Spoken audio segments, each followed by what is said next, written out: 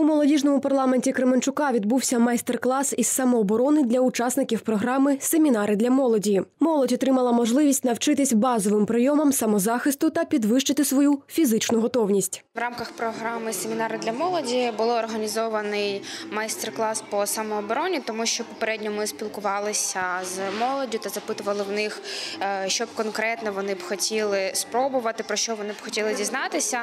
Ми отримали декілька тем, які були б їм цікаві. І ось сьогодні в нас перше заняття. Ми вирішили для них організувати такий майстер-клас по самообороні. Сьогодні нас завітали, і 10 осіб навчаються, як можна себе захистити в якійсь е, ситуації. Професійні інструктори провели теоретичне вступне заняття, де розповіли про основні принципи самооборони та показали, як правильно виконувати різні техніки. Якщо людина вміє себе захищати, то в неї навіть і поведінка інша.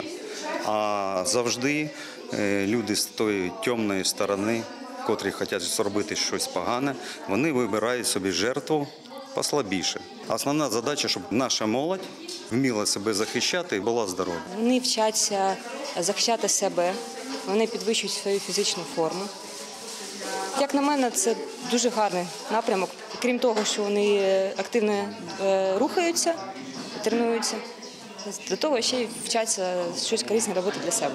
Проведення майстер-класу із самооборони спонукає молодь розвивати навички взаємодії та співпраці, підвищує самодисципліну та впевненість у своїх можливостях. Такі тренінги також допомагають молодим кременчужанам стати більш свідомими громадянами та бути готовими захистити себе та інших у випадку небезпеки. Я вважаю, що це корисно, бо всі ми знаємо, в якому світі ми живемо.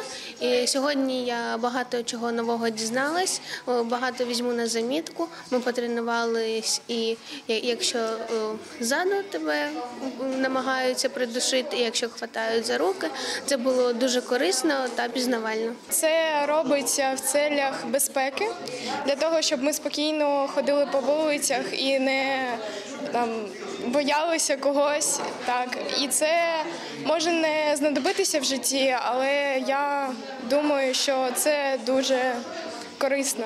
Анна Литвин, Олексій Крижановський, Кременчуцькі новини.